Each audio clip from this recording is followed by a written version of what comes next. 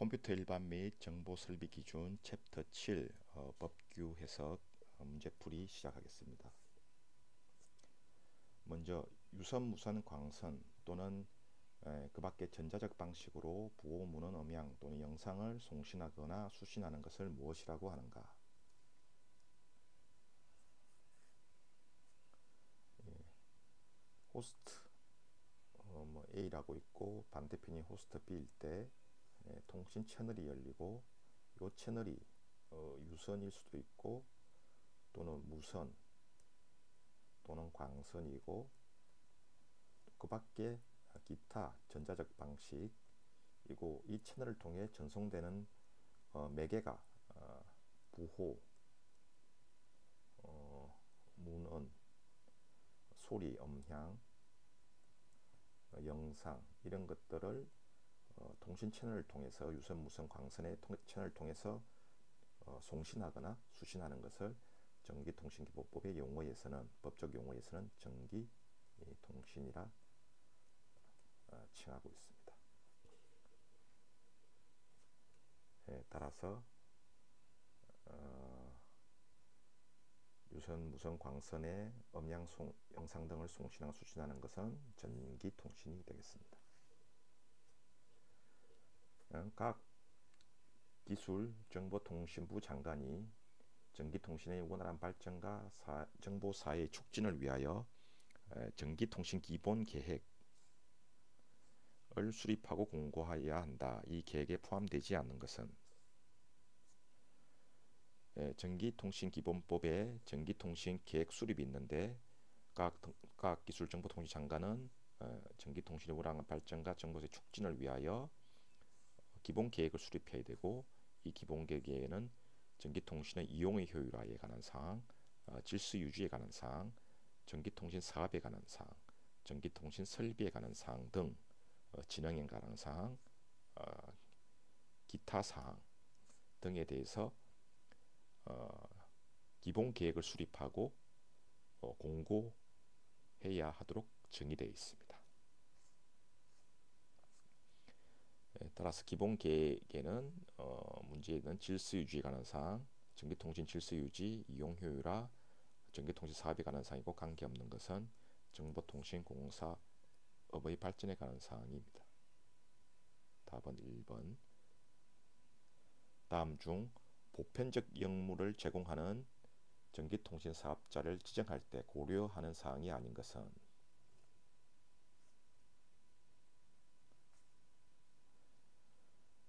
전기통신사업법에서 보편적 역무를 어, 제공할 수 하도록 정보통신부 장관은 어, 어, 보편적 역무를 효율적이고 안정적으로 제공하기 위해서 위하여 보편적 역무의 사업 규모 그, 사, 그 사업체의 사업 규모, 규모 어, 품질 및 요금 수준 음, 기술적 능력을 고려하여 어, 대통령 시행령에 따라서 어, 사업자를 지정할 수 있다. 여기서 보편적 역무라는 것은 어, 기본적인 통신 활동 뭐 우리나라 같으면은 어, 이동통신 사업이라든가 이동통신 사업이라든가 유선통신 사업 뭐 기타와 같이 누구나 영위해야 될 어, 통신 서비스를 어, 보편적 역무의 범위를 정하고 그 보편적 통신 서비스를 어, 어, 제공할 수 있는 사업자를 정할 때는 사업 규모, 어, 품질 및 요금 수준, 어, 그 사업자의 기술적 능력을 고려하여 정하, 지정하도록 되어 있다. 그래서 고려해야 될 사항은 어, 어, 사업 규모 및 품질, 요금 수준, 기술적 능력이 되겠습니다.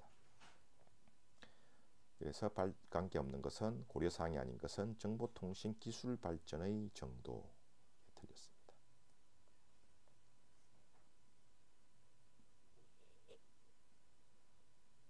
기간통신 사업을 경영하고자 할 경우 정보통신부 장관에게 행하는 절차는 예, 기간통신 사업을 경영하려는 자는 어, 어, 각, 각 아래 사항이 포함되어 있는 서류를 이용하여 과학기술부 정보통신장관에게 등록하면은 어, 기간통신 사업을 경영할 수 있습니다.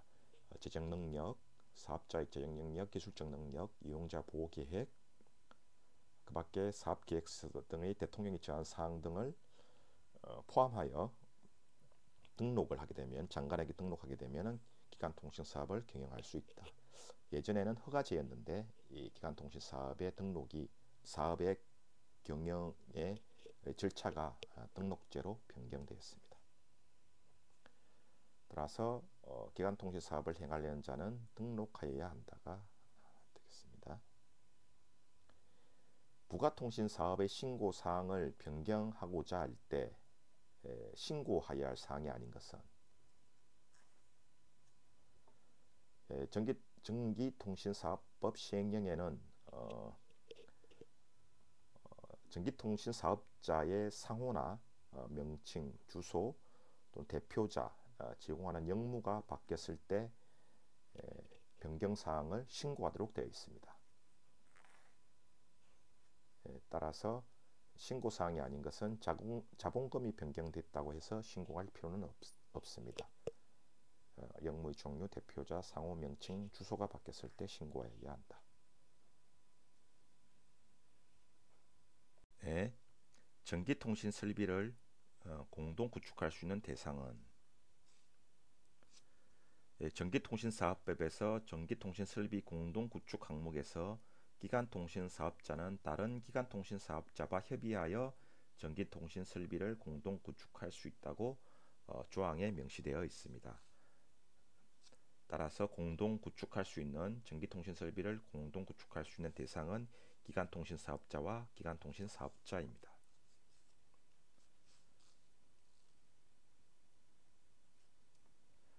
자가통신 설비를 설치한 목적 외에 사용할, 사용할 수 있는 경우가 아닌 것은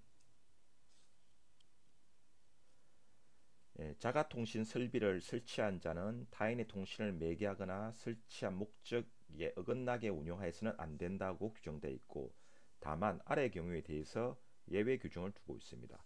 경찰 또는 재외구조 업무의 종사원자로 하여금 치안 유지, 또는 긴급 재해 구조를 위하여 사용하게 하는 경우 또는 자가통신 설비의 설치자와 업무상 특수관계 있는 자에 관하여 사용하는 경우에서 각, 각 기술정보통신부 장관이 특별히 고시하는 경우에 대해서 사용할 수 있게 되어 있습니다.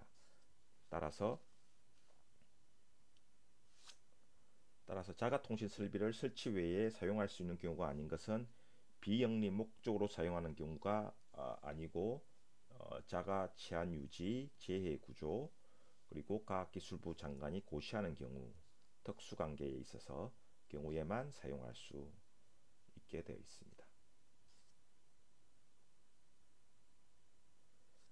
방송통신발전기본법에서 규정한 방송통신 설비의 관리 규정에 포함되지 않는 것은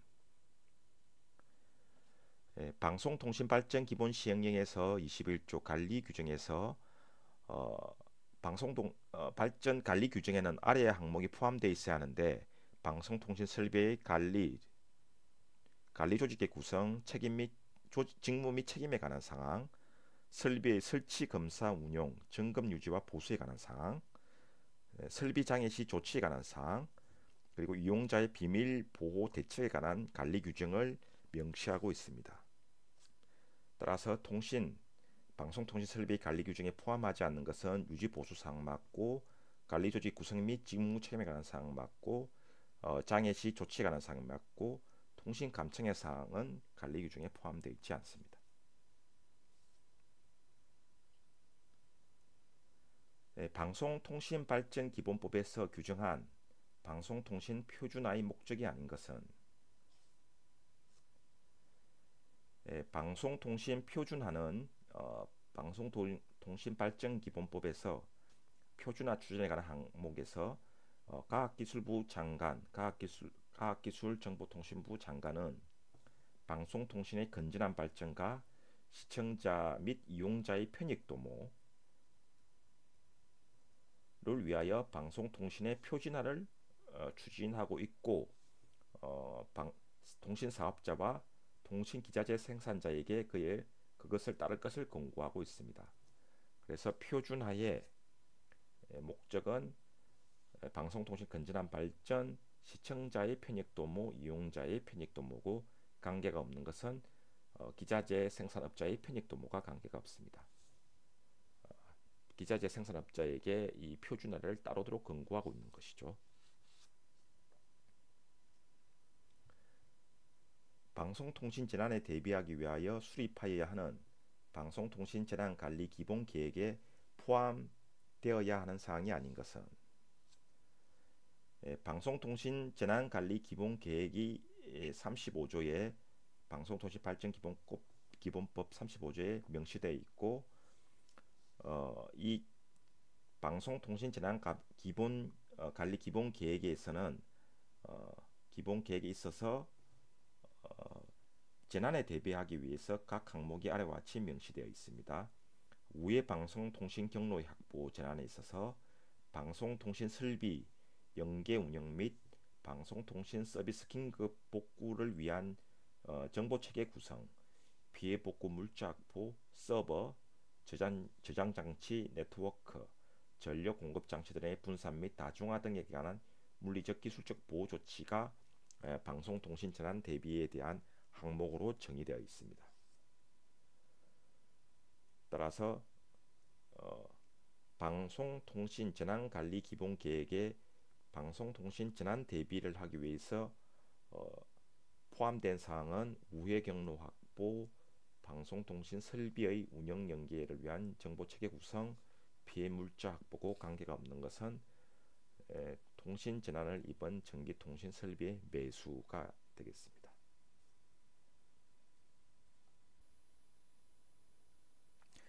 네, 다음 문제.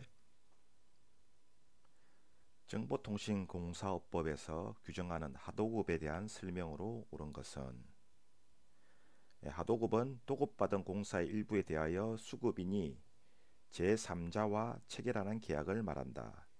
예를 들어서 예, 발주자가 있고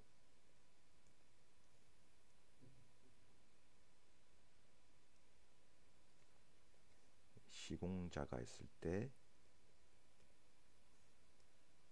물론 여기에 이제 감리자가 있을 수 있고 발주자가 시공자에게 공사를 하도록 기, 어, 하는 계약을 도급이라 하고 요거를 시공자를 또는 말로 수급인 그리고 시공자가 제3, 제3의 공사업자와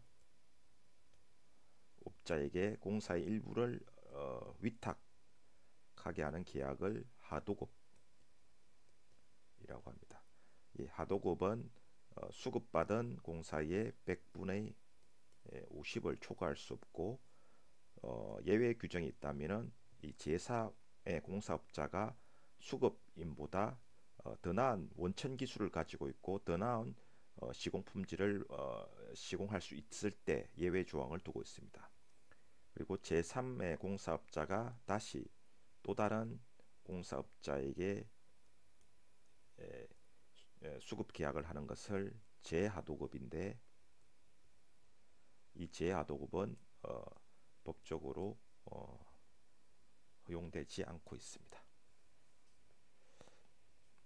따라서 하도급에 대한 설명은 도급받은 공사의 일부에 대하여 어, 수급인이 제3자와 체결하는 계약을 어, 하도급이라고 말합니다. 에, 정보통신 설비의 사용 전 검사에 대한 설명으로 옳지 않는 것은 사용 전 검사는 어, 뭐 예를 들어서 주택, 주택이라든가 건축물에 대해서 대해서 그 건축물이 기술 기준에 부합하게 에, 건축이 되었는지 시공이 되었는지 지자체장이 확인하는 검사가 되겠습니다. 이 사용전 검사를 받으려는 정보통신공사는 사용검사 신청서와 설계 도면을 지자체에게 제출해야 되고 지자체는 어, 기술 기준에 맞게 어, 시공 상태의 적정성 여부를 검사해야 하고 어, 사용 그 시설이 이러한 시설이 어, 적합하다고 인정한 때에는 어, 정보통신공사 사용 전 검사 필증을 발급하여야 합니다. 그리고 만약에 사용 전 검사를 한 결과 공, 그 공사 시설물에 대한 공사가 기술 기준에 미답하다고 어, 미달하는 등 사용에 부적합하다고 인정될 때 판단될 때에는 그 사유를 명시하고 보완 지시를 하도록 되어 있습니다. 네, 보완 지시를 받은 어, 자가 정보통신공사 사용 전 검사 검사 신청서 처리를 기간 내에 보완을 완료했을 경우에는 어, 검사 필증을 어, 발급, 발급 할 수 있습니다. 따라서 사용 전 검사는 어, 검사를 받으려는 자는 신청서를 제출하고 사용 전 검, 신청을 받은 지자체는 검사를 실시하게 되고 지자체장은 어, 적합할 경우에 사용 필증을 발급한다. 부적합 검사 결과가 부적합하다고 판정될 때에는 어, 보안 지시서를 제출해야 되겠죠. 3번이 옳지 않습니다. 정보통신 기술자의 배치에 대한 설명으로 옳지 않은 것은 어, 공사법 제33조의 정보통신 기술자의 배치에 관한 설명에서는 어, 시공관리, 기타 기술사의 관리를 위하여 어, 정보통신 기술자 1인을 1인 이상을 배치하고 그 배치를 발주자, 발주자에게 음, 통지하여야 합니다. 아, 배치된 정보통신 기술자는 발주자의 승낙을 얻지 아니하고는 정당한 사유 없이 공사 현장을 이탈해서는 안 됩니다. 항상 공사 현장에 있어야 합니다. 그리고 어, 이 정보통신 기술업자가 업무 수행 능력이 부족하다고 인정될 때는 수급인에게 정보통신 어, 발주자는 정보통 수급인에게 정보통신 기술자의 교체 요청을 할 수 있으며 어, 이 수급인은 어, 시공업체는 정당한 사유가 없는 한 이에 응하도록 되어 있습니다. 따라서 배치에 대한 설명으로 정보통신 기술자를 1인 이상 배치해야 된다. 어, 승낙을 받지 않고는 정당한 사유 없이 공사 현장을 이탈할 수 없다. 어, 업무 수행 능력이 부족하다고 인정될 경우에는 교체를 요청할 수 있고 수, 어, 수급업자는 이에 응해도록 한다. 따라서 관계가 없는 것은 공사가 중단된 경우에는 어, 어, 뭐 관계 없겠죠. 3번이 되겠습니다. 다음 중 가장 무거운 벌칙은 예, 정보통신법 벌칙에 대해서 어, 어, 타인의 이익, 을 주거나 또는 자기에게 이익을 이익이나 손해를 가할 목적으로 정보통신 전기통신 설비를 어, 허위 통신을 한 자는 3년 이하의 징역 3천만 원 이하의 벌금을 하고 어, 허위 통신이 어, 위에 말한 허위 통신이 전신환 어, 돈 거래와 관계될 경우에는 5년 5천만 원이 되겠습니다. 이에 이에 반해 만약에 이러한 허위 통신이 전기통신 사업자가 한 경우에 한 경우에 어, 이 전신환에 관계된 것은 10년 이하의 징역, 어, 1억 이하의 벌금에 처하게 있습니다.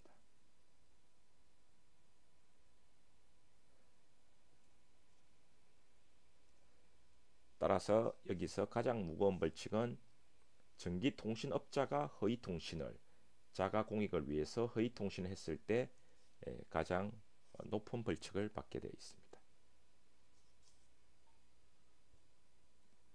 방송통신을 행하기 위해 개통적 유기적으로 연결 구성된 방송 설비의 집합체는 무엇인가? 방송 통신을 행하기 위하여 개통적 유기적으로 연결 구성된 방송 통신 설비의 집합체를 방송 통신망이라는 이라고 합니다. 용어 용어에 대한 문제이죠. 따라서 답은 방송 통신망이 되겠습니다. 네, 전송 설비 및 슬롯 설비의 보호 대책과 관계가 없는 것은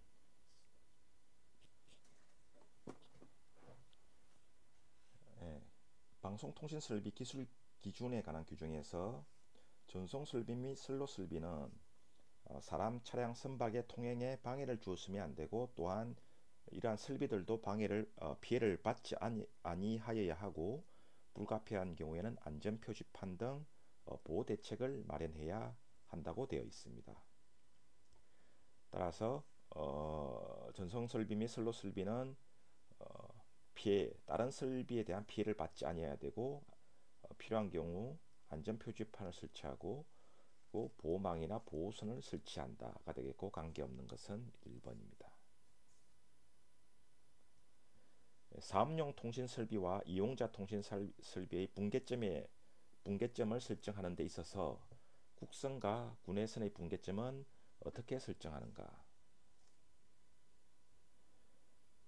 분계점은 방송통신 설비가 어, 다른 방송통신 설비와 접속되는 경우에 그, 그 책임과 한계를 명확하게 하기 위하여 설정되는 기준이 되고 분기, 분기점이 되고 분계점이 설정되어야 하고 이러한 분계점은 어, 사업용 통신 설비의 분계점은 사업, 사업자 상호 간에 합의하고 어, 만약 다만 어, 과학기술부 과학기술정보통부 장관이 분계점을 고시한 경우에는 이에 따르게 되고 사업자용 사업자 사업자끼리는 사업자 간 협의에 따르고 사업용 방송통신 설비와 이용자 통신 설비의 분계점은 도로 및 택지 또는 공동주택 단지의 경우 각 단지와의 경계의 경계점으로 한다. 국선과 군내선의 분계점은 사업용 통신 설비의 국선 설비와 이용자 통신 설비의 최초로 접속되는 점을 분계점으로 한다고 되어 있습니다. 따라서 국선과 군내선의 분계점은 사업용 통신 설비와 사업용 통신의 국선 설비와 이용자 통신 설비가 최초로 만나는 점이 분계점이 되겠습니다. 방송통신 서비스를 제공하는 사업자가 구비하여야 할 안정성과 신뢰성에 대해 해당하는 것과 관계가 정한 것은 어, 안정성과 신뢰성에 관한 어, 어, 조항으로 사업자는 이용자가 안전하고 신뢰성 있는 방송통신 서비스를 제공받을 수 있도록 아래 각 항을 운영하여야 합니다. 방송통신 서비스를 수용하기 위한 건축물 또는 구조물의 안전대책, 화재대책에 관한 상황, 어, 이용 및 운영하는 통신 설비를 이용 또는 운영하는 자의 안전 확보에 관한 필요한 상황, 방송통신 설비 운영에 필요한 시험, 감시 및 통제를 할 수 있는 기능에 관한 상황, 그 밖에 통신 설비의 안정성 및 신뢰성 확보를 위하여 필요한 사항에 대하여 어, 구비하고 운영하여야 합니다. 그래서 어, 안정성과 신뢰성에 관한 사항은 안전 확보에 필요한 상황, 안정성 및 신뢰성 확보에 필요한 상황, 운영에 필요한 시험 감사 기능이고 관계가 없는 것은 4번입니다. 적합성 평가를 받은 기자재가 적합성 평가 기준대로 제조, 수입 또는 판매되고 있는지를 조사하는 시험을 무엇이라고 하는가? 네, 적합성 평가를 받은 기자재가 평가 기준대로 제조, 수입 또는 판매되고 있는지는 아래 조항에 따라서 시험하는 것을 어, 사후관리라고 합니다. 따라서 답은 3번 사후관리 방송통신 설비의 오개 설비가 갖추어야 할 신뢰성 및 안정성에 대한 대책이 아닌 것은 오개 설비란 중계 케이블이라든가 공중 설비 등 어, 국사 내, 옥 외에 설치된 통신 설비를 말하고 어, 방송통신 설비의 안정성 및 신뢰성에 대한 신뢰성 및 통신 교회에 대한 기술 기준에서 오개 설비는 풍해, 낙뢰, 진동, 지진, 화재, 내수 등의 대책, 수해 대책, 동결 대책, 염해 대책, 고온 저온 대책, 다습 대책, 고신뢰도 제3자의 접촉 방지 등의 에, 대책을 마련하여야 합니다. 따라서 어, 오개 설비의 안정성, 신뢰성과 관계된 동결 대책, 다습 대책, 진동 대책 등이 있고 다 접근자 용이성 이거는 관계가 없습니다.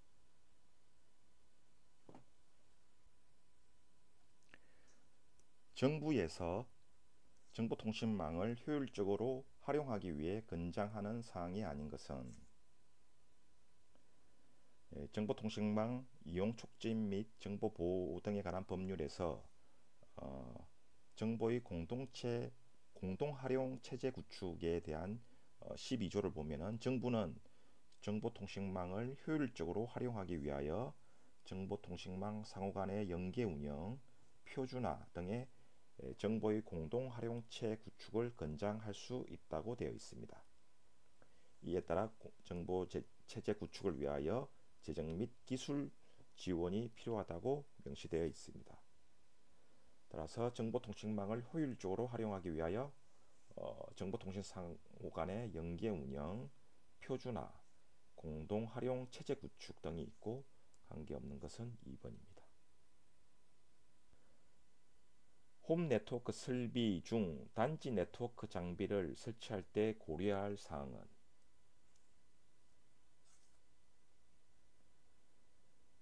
또 단지 네트워크 장비는 어, 집중 군의 통신실 또는 통신 배관실에 설치하여야 하고 전원 공급을 위하여 배관 및 배선이 설치되어야 하며 단지 네트워크 장비는 외부인으로부터 직접적인 접촉이 되지 않도록 별도의 함체나 렉을 설치하며 함체나 렉에는 외부인의 조작을 막기 위한 잠금 장치를 하여야 된다고 되어 있습니다. 따라서 어, 잠금 장치에 되어야 한다. 집중 통신실에 설치해야 된다. 렉을 설치해야 된다. 개방이 되어서는 안 됩니다. 지능 정보와 추진의 기본 원칙에 해당하지 않는 것은 어, 지능정보화 기본법 제3조의 정보, 지능정보화 기본 원칙에는 예, 국가 및 지방단체와 국민은 어, 개방적인 지능정보 사회를 실현하고 이를 지속 발전시켜야 시킨다. 어, 국가 및 지방단체는 국가 경제 기본을 도모하고 국민의 생활 및 질적 향상과 복리 정진을 추구함으로써 어, 공유되도록 한다. 지능정보와 사회기를 위하여 국민 및 사회 모든 구성원은 지능정보와 기술 웹 활용이나 지능 서비스를 위하여 역기능을 방지하고 어, 안전 및 개인정보 보호 및 어, 자유 비밀을 보장하여야 한다. 지능정보 기술을 활용하고 지능정보 서비스를 이용하여 어, 공정한 기회를 주어야 한다. 모든 구성에게 공정성, 비밀 보장 이런 게 있고 그리고 국가와 지방단체 자체는 지능 정보와 사회를 구현하고 추진하기 위하여 협력을 강화하고 어, 지원하여야 한다. 아, 국제 협력을 적극 추진한다. 이렇게 명시되어 있고 기본 원칙에 해당하지 않는 것은 어, 제한적 접근 및 활용, 통제 이것이 잘못된 원칙이 되겠습니다.